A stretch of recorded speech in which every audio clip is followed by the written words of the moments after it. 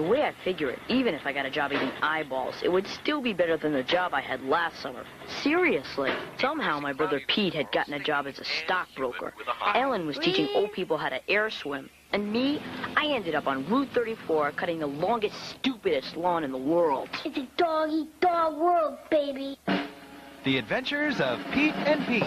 Starring Pete, Pete's brother Pete, and me, Ellen. Today's adventure, Route 34. Around the 170 mile mark, I get so bored, I begin asking myself deep philosophical questions.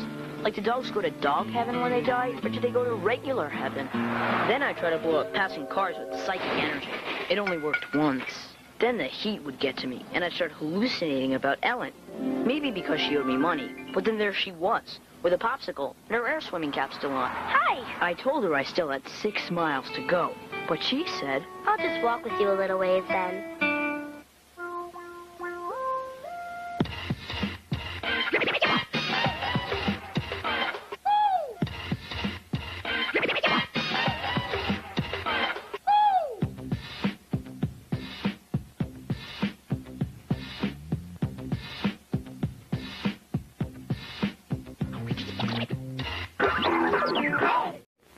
Next Monday on Degrassi. maybe we could hang out.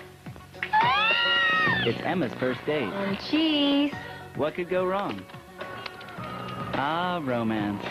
The only thing sweeter Detention. After school. You can.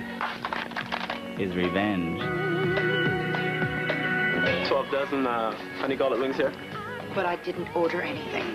If your life were a TV show, this would be it. Don't miss a new episode of Degrassi next Monday at 9 p.m. Eastern and Pacific in The N. Well, that's it for The N. We'll be back tonight at 6 p.m. Eastern. Now it's safe to shut down The N.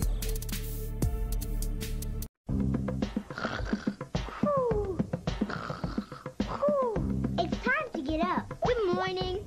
Ooh, it is time to get up. And it's time to start noggin. Let's go. Can you help me sing our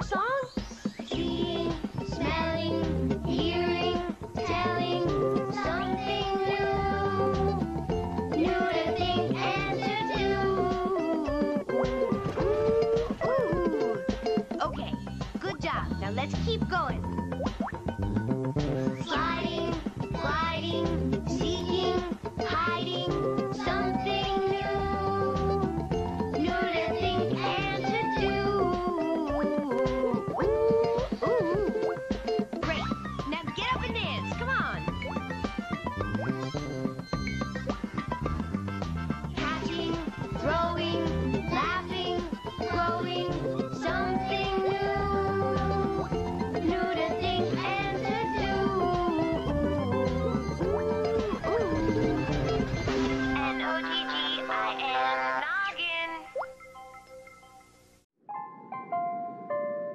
Hello, everyone. Welcome to Noggin. You will find kids shows, game shows, and many more.